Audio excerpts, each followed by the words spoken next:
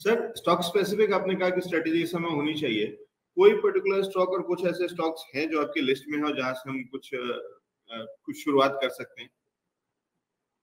देखिए, मुझे लग रहा है कि आज मैं पढ़ रहा था कि बैंक क्रेडिट ग्रोथ जो है क्रेडिट ग्रोथ साइकिल वो अभी बहुत स्ट्रांग हो चुकी है डबल डिजिट्स में पहुँची है। तो इसका पहला जो बेनिफिट मिलेगा वो बैंकिंग सेक्टर को मिलेगा। और मुझे लग रहा है कि देखिए बैंकिंग में दो ऐसे विकल्प है जो हमको काफ़ी अच्छे लग रहे हैं। एक तो सरकारी एसबीआई और दूसरा आईसीआईसीआई बैंक मुझे लग रहा है कि एसबीआई बहुत ही अट्रैक्टिव लेवल पे आया है। इनफैक्ट इनका जो योनो ऐप है जो सभी लोग यूज़ करते हैं, इसका बीच में रिपोर्ट आया था कि इनके पाँच करोड़ कस्टमर्स है। तो ये कोई छोटा फिगर नहीं है और आगे चल के ऐसा भी मार्केट में रिपोर्ट है कि इस योनो ऐप को ये मोनेटाइज करेंगे, इससे काफ़ी पैसा जुटाएँगे।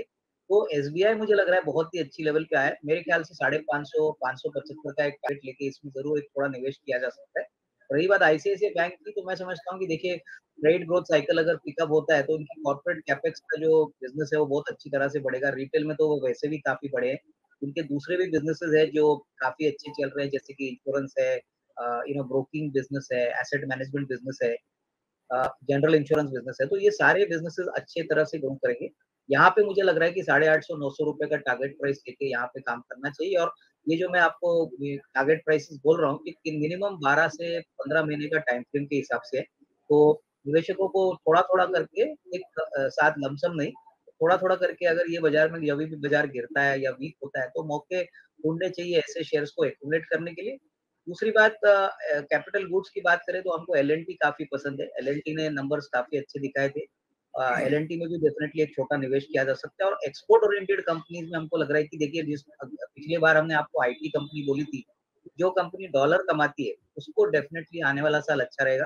तो उसमें इन्फोसिस है, उसमें टीसीएस है तो ये भी ऐसे विकल्प है जो आपके पोर्टफोलियो को स्टेबिलिटी देंगे थोड़ा सा सेफ़ भी रखेंगे और इसमें रिस्क रिवॉर्ड अभी इस प्राइस से काफ़ी अच्छा लगा ठीक है, मैं सर वापस बैंकिंग पे आना चाह रहा हूँ। आपने मेरे को दो स्टॉक्स बताए हैं एसबीआई और आईसीआईसीआई यानी प्राइवेट सेक्टर से भी एक दे दिया है और पब्लिक सेक्टर से भी एक दे दिया है। थोड़ा सा मेरे को अगर लेवल्स बता दें कि क्या टाइम फ्रेम लेकर के चलूँ और किस तरीके के टारगेट्स और उसके भी अगर लॉन्गर टाइम फ्रेम में, क्योंकि कल बहुत सारे दर्शक मैं देख रहा था और बहुत सारे कमेंट्स हमारे पास ये थे कि बहुत सारे दर्शक निवेश करना चाहते हैं और लंबे समय के लिए भी निवेश करना चाहते हैं। क्या ये सही समय है? इन स्टॉक्स में किया जा सकता है निवेश और अगर करते हैं तो टाइम फ्रेम क्या होगा और टारगेट्स क्या होंगे? जैसे मैंने कहा कि देखिए S B I between four fifty to four seventy five ये एक रेंज है जहाँ पे एकोमलेशन किया जा सकता है। और मुझे लग रहा है कि कम से कम पाँच सौ पचहत्तर, छह सौ रुपए का टारगेट बारह से पंद्रह महीने में पॉसिबल है। तो ये क्लियरली एक बाय ऑन डिक्लाइन वाला काउंटर है। उसको एस आई पी के पॉइंट ऑफ़ व्यू से भी स्लोली स्लोली एकुमुलेट किया जा सकता है क्योंकि आने वाले यू नो साल में दैट इज़ एफ़ में बहुत बढ़िया नंबर्स एसेट क्वालिटी पे लोन को ग्रोथ पे आने की अपेक्षा है। यहाँ पे मैंने वो भी कहा कि योनो का, उनका जो ऐप है, वो मोनेटाइज अगर होता है तो एडिशनल बेनिफिट मिलेगा बट इसमें कोई डाउट नहीं कि एसबीआई काफ़ी अट्रैक्टिव लग रहा है इस प्राइस पे। दूसरा शेयर जो आईसीआईसी बैंक बोला था, यहाँ पे हमारा जो टारगेट है वो करीबन eight seventy five nine hundred rupees है। ये भी बारह से पंद्रह महीने के पॉइंट ऑफ़ व्यू से अगर कोई खरीदना चाहे तो डेफिनेटली खरीदेगा अभी करीब price seven forty seven range पे है। मुझे लग रहा है कि देखिए सात सौ पच्चीस और सात सौ पचास, ये ऐसा एक रेंज है जहाँ पे ये स्टॉक तो मुझे लग रहा है काफ़ी समय निकालेगा। तो अगर मान लीजिए कि थोड़ा सा गिरता भी है तो इसको खरीदना चाहिए।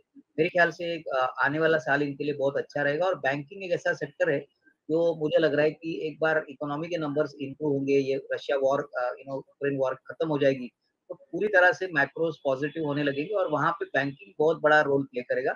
और यही शायद कारण है कि आप देख रहे हैं कि बैंक निफ्टी निफ्टी को अंडर परफॉर्म कर रहा है। तो बैंक निफ्टी तब परफॉर्म करेगी जब ये पूरे जो अनसर्टनिटीज है मार्केट में ये पूरी तरह से निकल जाएँगे।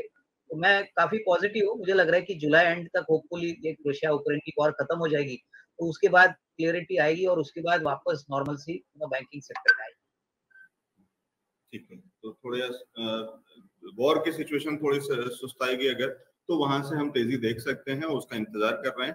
बैंकिंग सेक्टर पे नज़र है अविनाश सर की और उसके बढ़िया दो स्टॉक्स प्राइवेट सेक्टर से आईसीसीआई बैंक और सरकारी बैंकों से एसबीआई दोनों स्टॉक्स के अंदर में एक्यूमुलेशन की रेंज बता दी है सर ने टारगेट्स बता दिए हैं और टाइम फ्रेम भी बता दिया है। तो ये बढ़िया दो स्टॉक्स बैंकिंग सेक्टर के अंदर से जहाँ पे खरीदारी करके चल सकते हैं और अच्छा मुनाफा मिल सकता है।